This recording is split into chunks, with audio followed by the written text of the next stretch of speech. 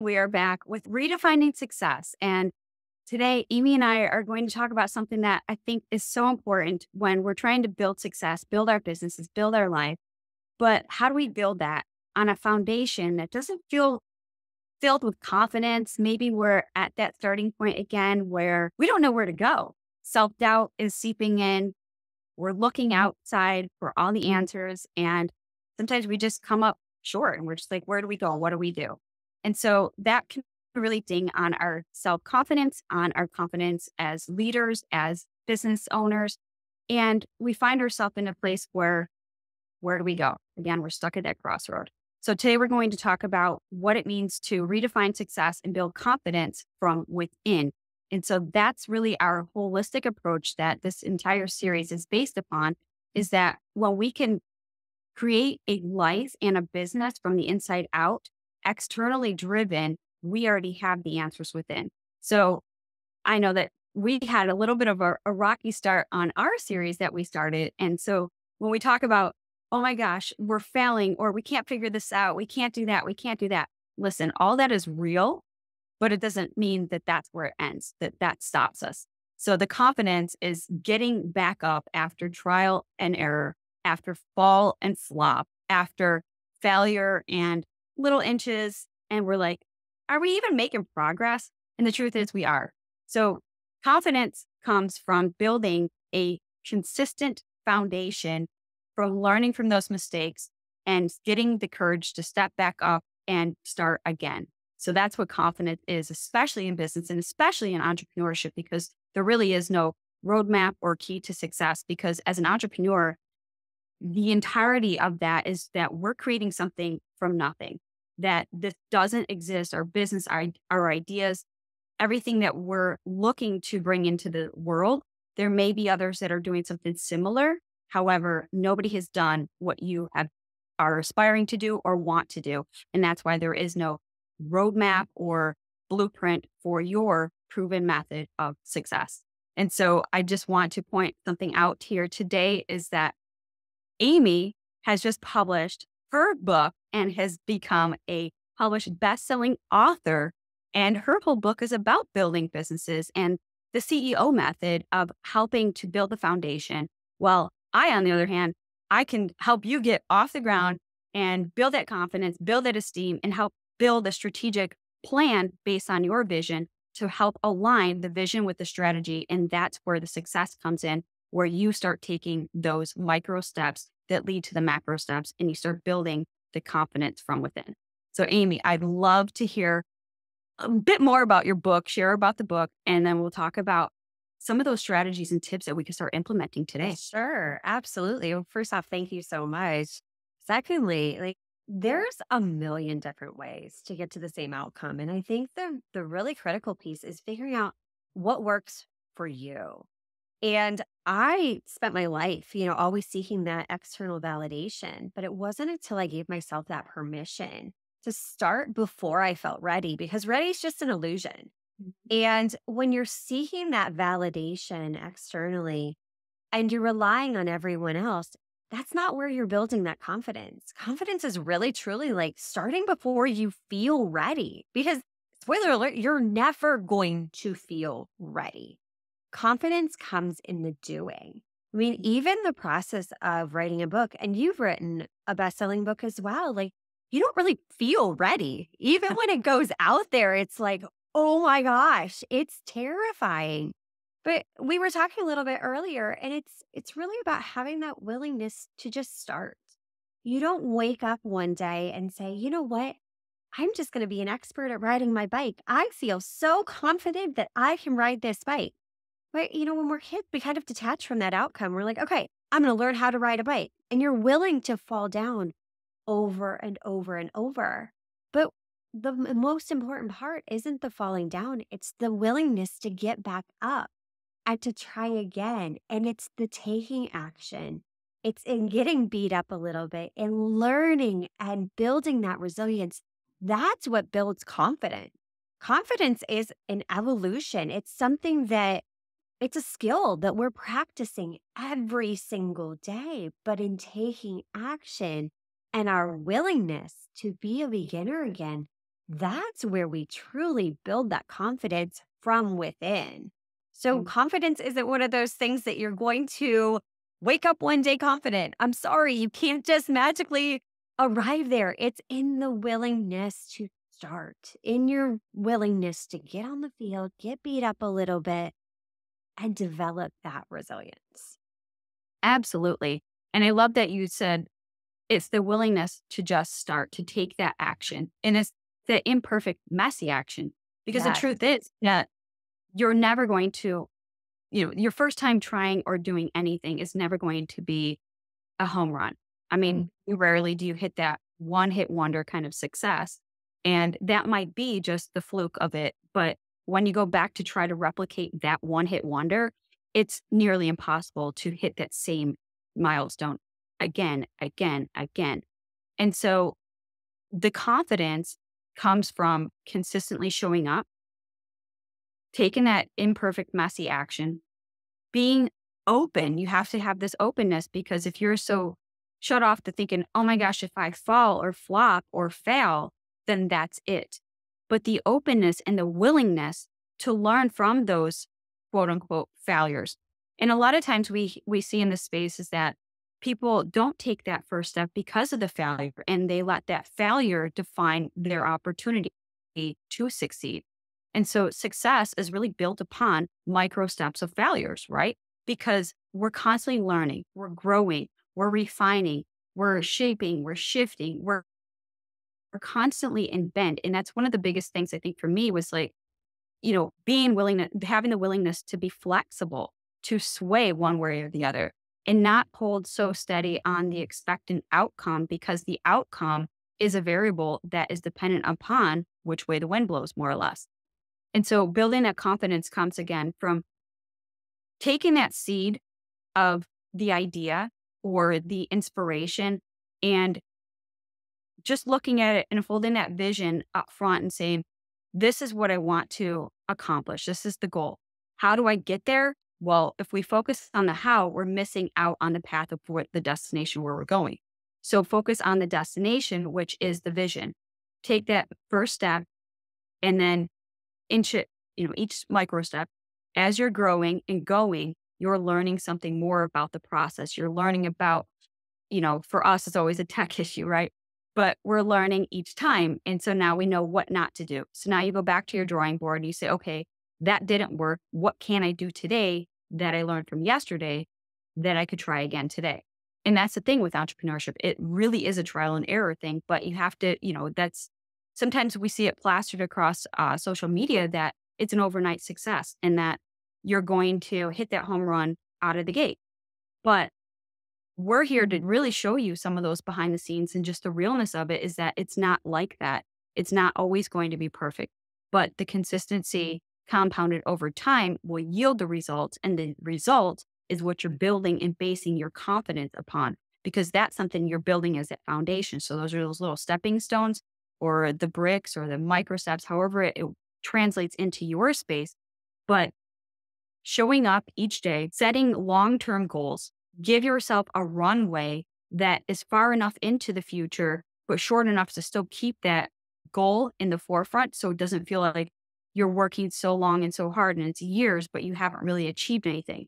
So setting those micro moment or milestones for those micro steps will build up that confidence and esteem. So when you do have a setback, you're never set completely back to the starting line. You're actually just set back a little bit. And that's the constant, constant refinement to go back at it again. And that's one of the biggest things that ties in with confidence is the resiliency. Because when we do fall back, we bounce right back up. And that's the resiliency. And it's something that's definitely needed in this entrepreneurship journey and also will help to refine that confidence too, because that's one of the things you're going to get knocked down. I'm going to tell you right now, you're going to get knocked out. Oh, yeah. But get back up. And the quicker you get back up, the quicker you keep going at it. It's, you know, really the only one we choose to stay down is when we've really failed in that sense. Right, exactly. And that's where the growth occurs in those tough times because what is that doing? It's giving us information. But in order to get the information, we have to take action.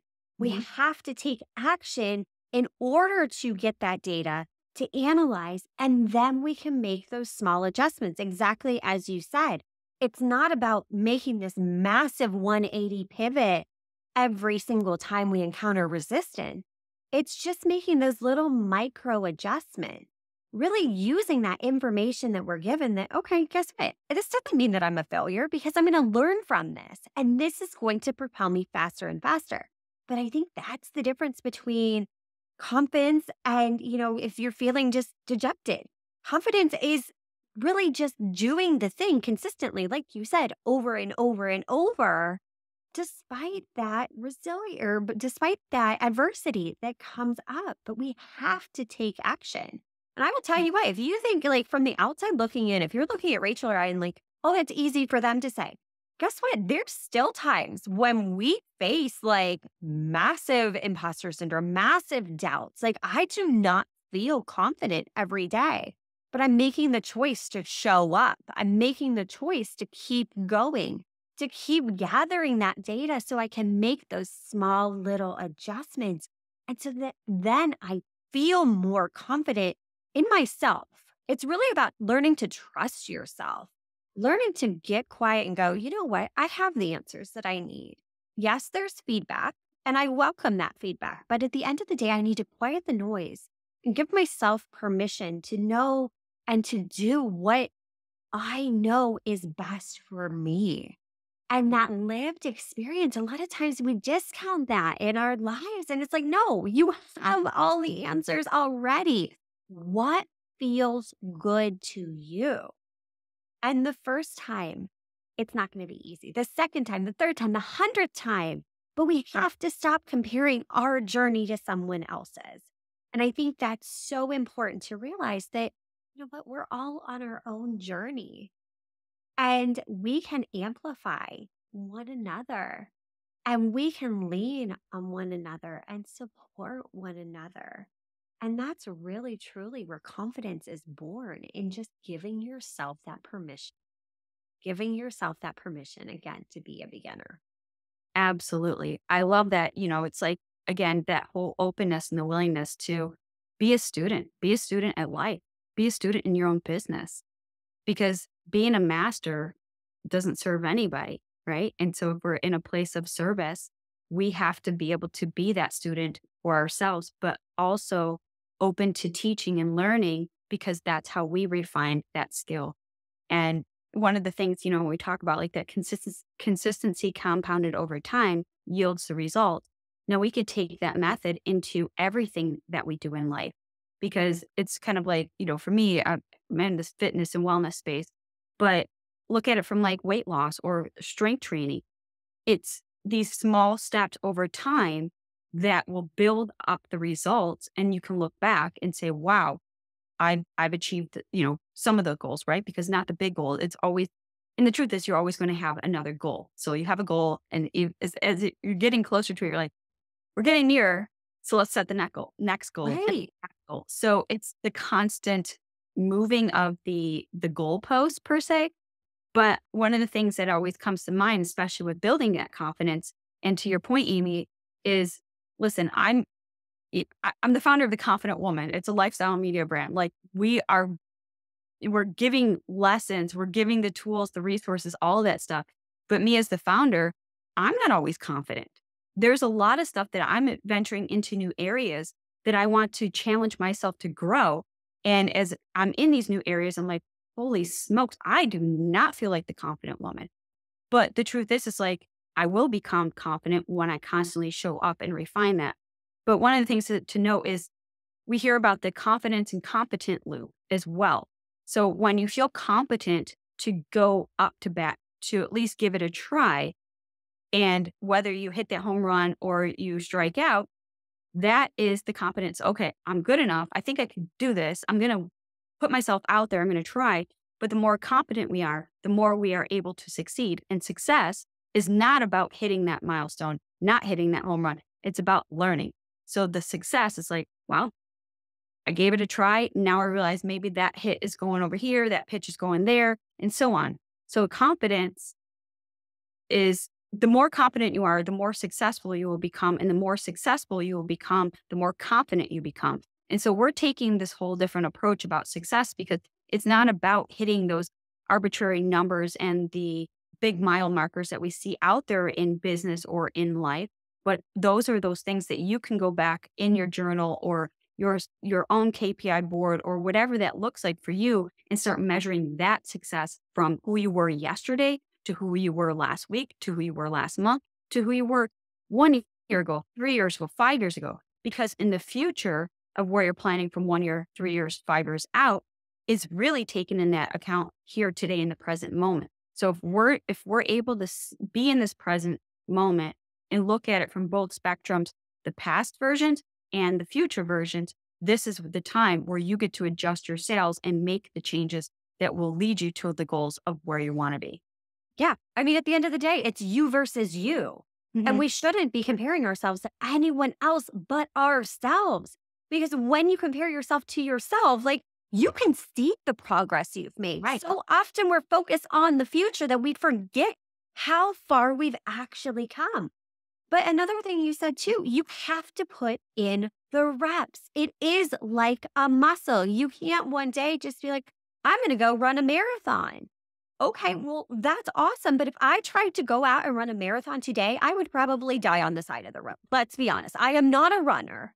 But if I put in those reps, if I practiced, if I persisted, if I kept showing up on those days where, you know what, it's raining out and I don't want to go for a run, well, guess what? I'm not going to see any progress. Mm-hmm. But if I really make that commitment and embody that, like I am a runner, I can do this, that's where I build up that, like you said, competence.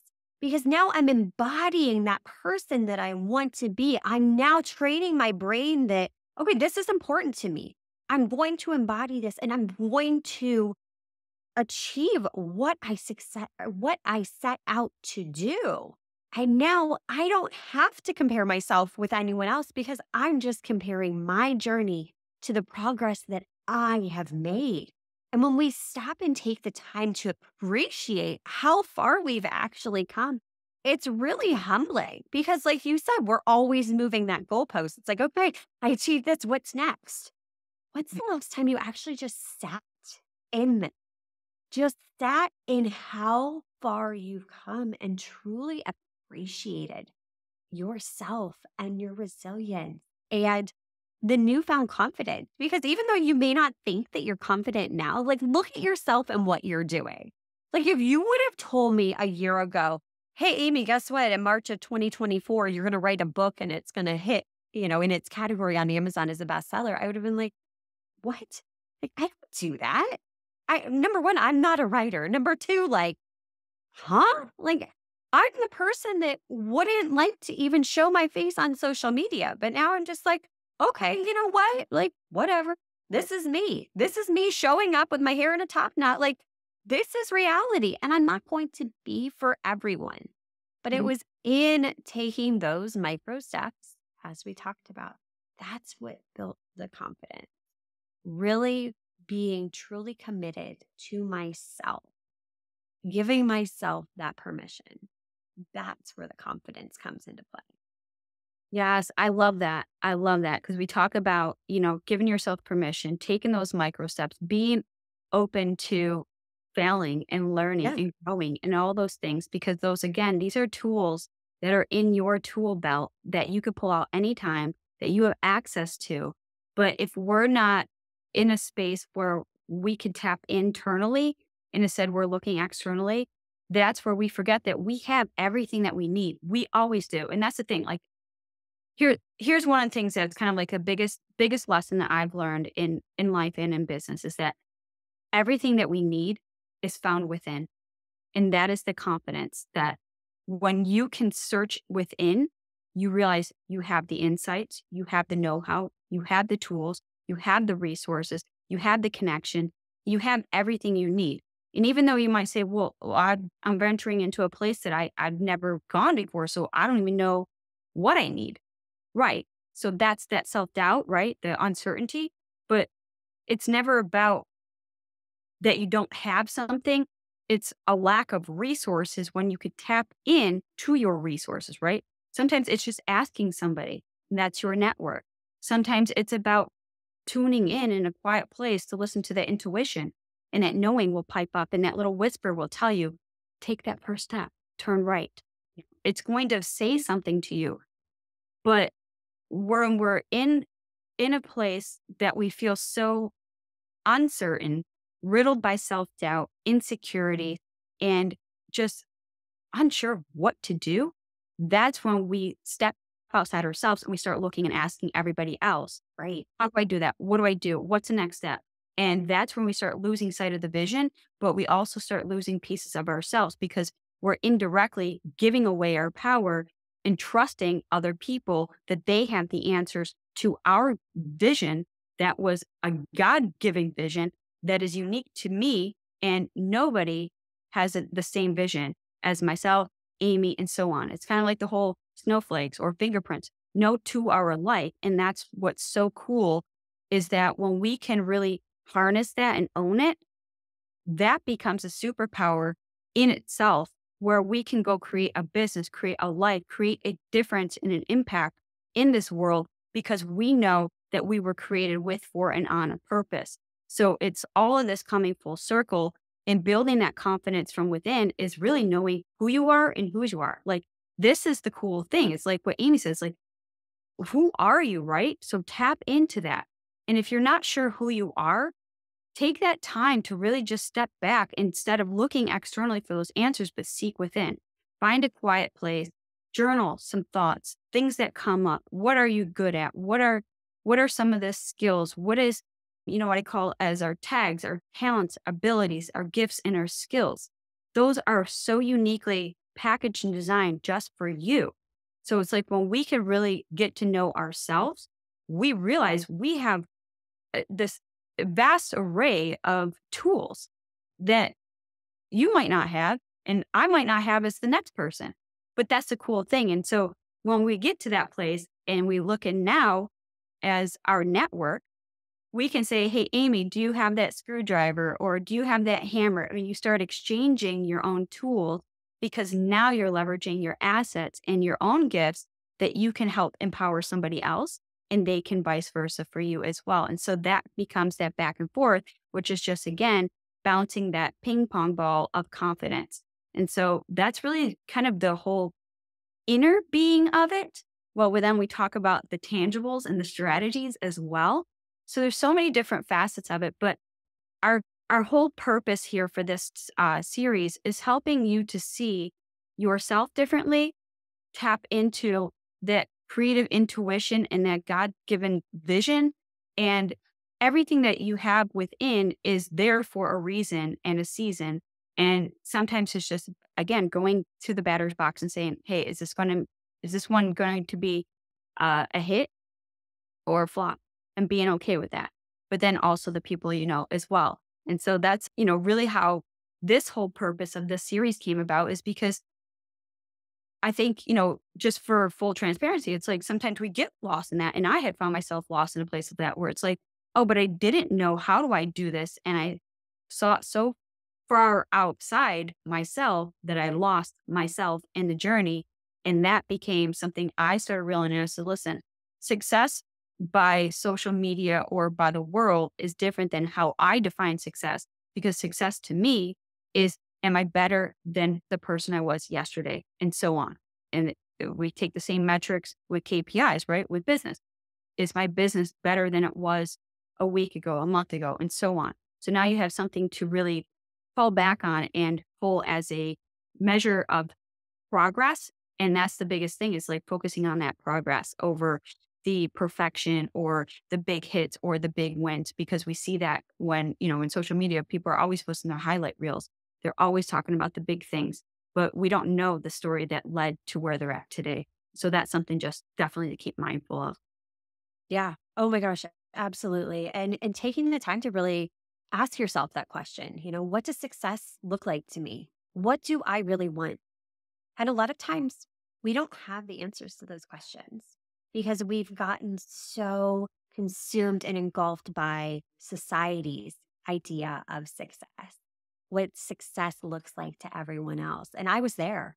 I was there and I had no clue what I wanted. You know, I, I had everything that on paper I thought I wanted. But what I realized was that wasn't what I wanted anymore. Mm-hmm. And that's okay to change. But you have to stretch yourself. And it's not easy, it's scary. It is so scary to go outside of your comfort zone. But honestly, that's been one of the most powerful things that's helped me gain confidence is challenging myself and really stretching outside of my comfort zone, seeking those things that make me uncomfortable, doing those things that I never intended to do. But it's like, okay, you know what? I'm going to take on this challenge and just trust in myself, trusting God's plan for me, that I am taking action in the right direction. And if not, you know what? We'll learn something along the way. We'll figure it out as we go but it's that resistance that builds strength, right? You can't keep going to the gym lifting one pound weights, expecting yourself to one day be able to deadlift 500 pounds. No, it doesn't work like that. You get stronger through the resistance. You get more confident in stretching yourself outside of your comfort zone. So if you're struggling right now with confidence, like, I just don't feel confident, I challenge you do something today that stretches you a little bit. It doesn't even have to be big. Maybe it's just, you know what? I'm going to take a selfie of my face and put it on social media because I don't like to shove. Okay, just say hello, you know, like do something, no matter how small you may think it is. Start. Start stretching yourself somewhere because it gets easier. That's what builds the resilience. Keep going and you'll notice like, oh my gosh, like I did it. Now let's let's challenge ourselves a little bit more and keep doing that. And like in a month, in a quarter, in a year, like look how much you'll have grown if you just keep taking those micro actions. Absolutely. And that's, you know, really is kind of like a recap of how we how we can build those stepping stones that lead to a confident life, a confident business. And the more confident we are, our failures are just so minimal. And I and I hate using that word failure because it really right. is, you know, it, we, we hear it everywhere, but that's why we use it because it's something tangible that everybody's familiar with. But you know, failure really is just what didn't work. And so we start again. But you know, as we continue this series, our goal is to really to provide just simple takeaways, tips, tools, strategies to really empower you to go after the life that you love, redefine success on your own terms, and just getting that clarity and that peace in, of mind, but also that inner peace to know that you're exactly where you need to be. There is no set timeline for you. There is no mile marker of that you have to meet these quotas and deadlines and goals and all these things, but you're exactly where you need to be. You're here. And if you're at a crossroads or you're on one path or the other, exactly where you need to be. And giving yourself that permission, as Amy says, to be okay with that, to know that as we continue this journey of life, there's going to be all certain all kinds of circumstances and situations that are beyond our control. But if we're at a place where we have this inner peace and knowing and trusting that God's plans are unfolding for us, whether we take that step today or maybe we need to rest that day. Doesn't matter, but it's already laid out for us. But our whole goal and purpose here is to trust and be in abidance with the plan and just taking that messy, imperfect action. Because again, we have we have a mission here. We have a purpose. We have something that we want to bring into this world and leave as part of our legacy. But while we're here, our goal is to make that impact. So we hope that this this session here was inspiring that you brought that we provided some tangible insight because if we're going to continue this journey and we're going to continue providing just like that little micro takeaways that you can help build up that journey of success and redefining it on your own terms. So I look forward to connecting next week again. We have another topic coming for those that are interested. We are going to be talking about how to navigate change with faith. And so as we navigate this journey, you know, faith, whether that is, you know, your faith in your higher power or it's faith in that belief in yourself and your your abilities, right? We have to have self confidence. We have to have self belief. And so having that faith that we can succeed because we're redefining what success means. So, yes, we look forward to seeing you next week. Thank you for joining us.